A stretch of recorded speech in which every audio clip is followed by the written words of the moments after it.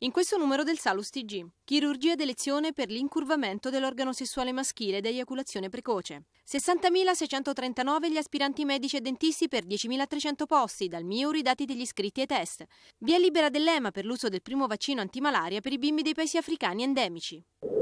L'indurazio penis plastica colpisce intorno al 10% della popolazione maschile, ma è ancora molto sottovalutata, soprattutto dai giovani che tendono a non rivolgersi dallo specialista. Il problema principale che questa patologia può provocare è l'incurvamento del pene con impotenza ed eiaculazione precoce. Lo specialista palperà la piccola placca in formazione, perché ancora abbiamo solo delle gomme infiammatorie all'interno del pene, Un'ecografia peniena dinamica confermerà la diagnosi, ma soprattutto darà le misure della placca iniziale, dirà quali sono le dimensioni. Questo è molto importante per monitorare la risposta terapeutica.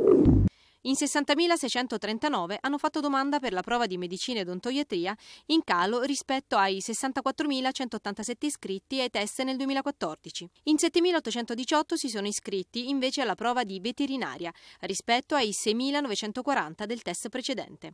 A comunicare i numeri è il Ministero dell'Istruzione, Università e Ricerca. I posti disponibili sono 9.513 per medicina, 792 per odontoiatria, 717 per veterinaria.